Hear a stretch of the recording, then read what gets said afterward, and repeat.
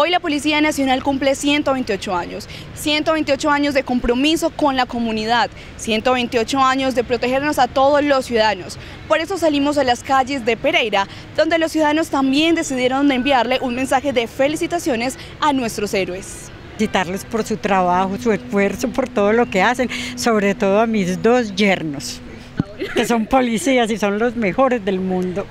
Pues que los felicitamos y que, que sigan luchando por la patria y que Dios los bendiga. Eh, unas felicitaciones a la Policía Nacional por tan bonita labor que hacen todos los días y sobre todo a mi esposo Juan David Giraldo Restrepo, que es guía canino. El mensaje es que la justicia es muy importante para el pueblo colombiano porque tenemos que unirnos para que haya justicia, equidad, para que haya un bienestar social para todos.